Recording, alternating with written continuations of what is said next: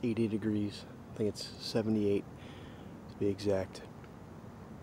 We uh, been hunting all week, a couple different properties. Seen some bucks, um, nothing, nothing big. Um, so this is pretty much my last day. Uh, I'm gonna meet up with Sean tomorrow.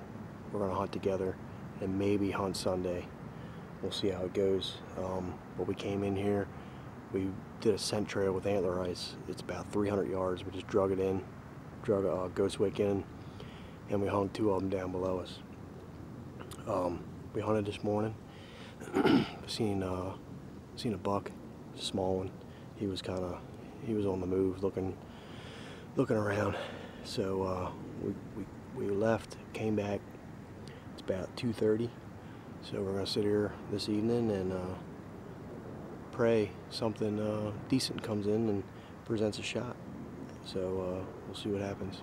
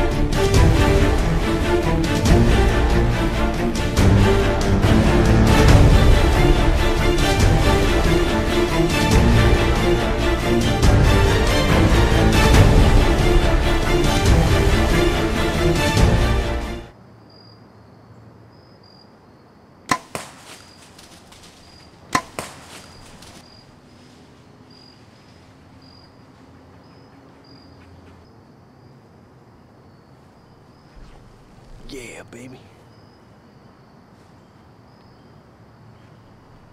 15 yards, seen that deer? He's down. Whew, that was the weirdest thing that I've ever seen happen. It's a small buck. I'm gonna eat the tag on that because he had something wrapped around his face and his antlers. I couldn't really tell what it was, but I could tell that it was it was on there pretty good and it was bothering him. It looked like it was weighing his head down a little bit and he was he was struggling. I mean, he was eating fine, but he was definitely struggling struggling, didn't like it. I don't know what it was. It looked like barbed wire.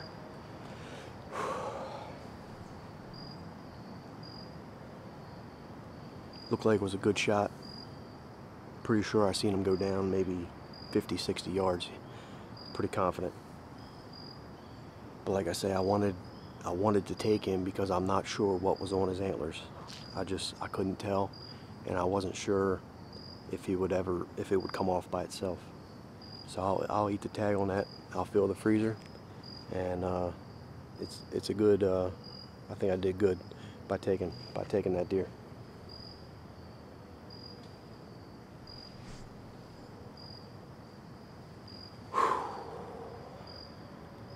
Small ones shake me up too.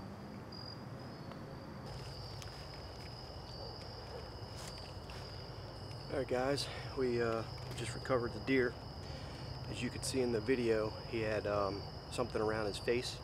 Well here it is. He's completely tangled in this rope. Looks like some netting and then some thicker rope up here.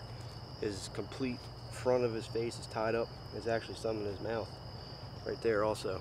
So I uh, believe I did the right thing by taking this deer. Uh, it sucks that uh, I couldn't let him go and you know in a few years he might be bigger. But I, like I said I feel like I did the right thing.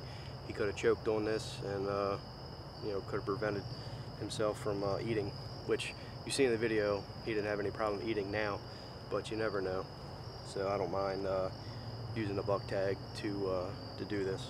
So we're gonna go ahead and get the outdoor edge knife out get this deer cleaned up and get him out of here it's hot and then uh, off to meet Sean tomorrow for another hunt. So stay tuned, guys.